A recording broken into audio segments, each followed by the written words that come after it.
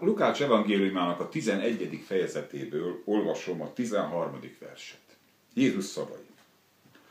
Ha ti gonosz létetekre tudtok a gyerekeiteknek jó ajándékot adni, mennyivel inkább áldati mennyei atyátok szent lelket azoknak, akik tőle kérik.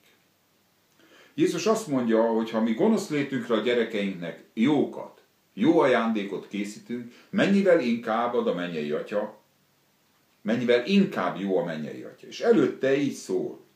Azt mondja Jézus, hogy melyik apa az közületek, akitől a fia kenyeret kér, és ő vajon követ ad-e neki. Na képzeljük el ezt az apát, aki ez oda megy a gyereke, és azt mondja, hogy édesapám, kérek tőled egy kenyeret, és apa azt mondja neki, ne szedd ez a kő, ezen rágódj. Utána Jézus folytatja, melyik apa az közületek, hogyha gyereke odajön, és halat kér tőle, akkor azt mondja, na, nesze fiam, itt egy skorpió, jól marjon meg.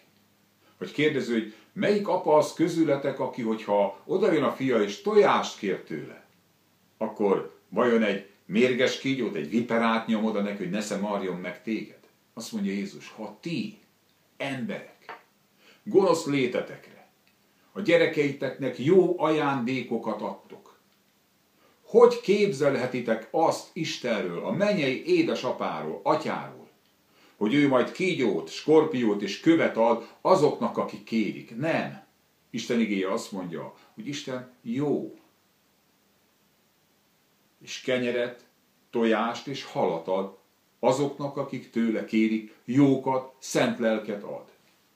Miért kell annyit beszélnünk arról, arról a látszólagos evidenciáról, hogy Isten jó? Hiszen a Biblia mondja, az Isten világosság és nincsen benne semmi sötétség. Isten nem jön és megver betegséggel, átokkal az övéit, azok, akik bíznak benne, akik kérik tőle.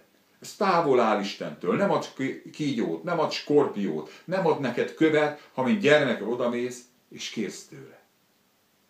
A harc nem azért folyik, ahogy a múltkor is beszéltünk róla, hogy Isten jó legyen. A harc azért folyik, hogy ezek a hazug tévtanítások, amik Istent úgy akarják beállítani, mint egy szigorú pedelust, mint egy ö, diktátort, mint egy katonai főparancsnokot, aki abban gyönyörködik, hogy jól megaláz, kifacsar téged, és utána majd azt, mikor már nagyon-nagyon a megalázottan oda csúszol, mászol, akkor esetleg könyörül rajtad. Ez a kép, ez egy kegyetlen Isten kép, amivel megmérgezték, tönkretették, kárhoztatással, megfélemlítéssel meggyötörték hívő embereknek a lelkét, és a mostani időkben az Isten helyre akarja állítani azt a képet az Istenről, hogy az Isten jó, hogy az Isten meg akar békülni veled. Olvassátok a Lukács 15-öt, a tékozló fiú példázatát. Elmegy a fiú, kikéri a vagyont, az apja odaadja neki. Elmegy messze földre, és elkölt mindent.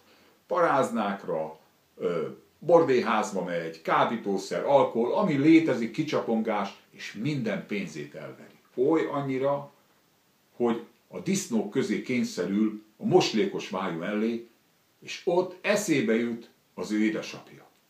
És azt mondja, hogy az apám házában még a béreseknek is jobb dolguk van. Visszamegyek. Védkeztem az ég ellen is, te ellened, atyám. És képzeljétek el az apát, aki otthon azon töri a fejét, hogy fogja megbüntetni a fiát, ha még egyszer a szeme elé kerül. Ez a vallásnak a képe.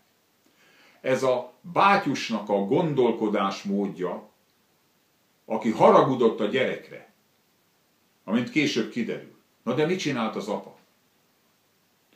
Az apa minden nap ott állt a kapuban. Leste, hogy mikor jön haza a fia. És amikor megjött a gyerek, akkor ez a moslékszagú gyerek. Megölelte. Köntöst adott rá, gyűrűt húzott az ujjára, új sarut adott neki. Levágatta a hízott tulkot, és azt mondta, vigadjunk, örüljünk, mert az én, az én fiam, aki meghalt, és feltámadott.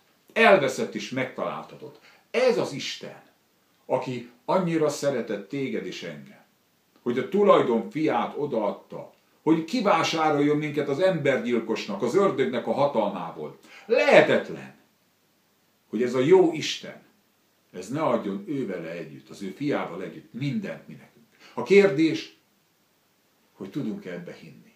Azt tudom mondani, hogy óriási nagy segítőnk van. A Szentlélek itt van. A Szentlélek pedig kitöltötte az Isten szeretetét a szívünkbe, hogy a Róma 5-ben olvassuk. És azt kiabálja mi bennünk, hogy Isten, ami szerelmetes édesapánk. Isten jó. A harc ezért a hitért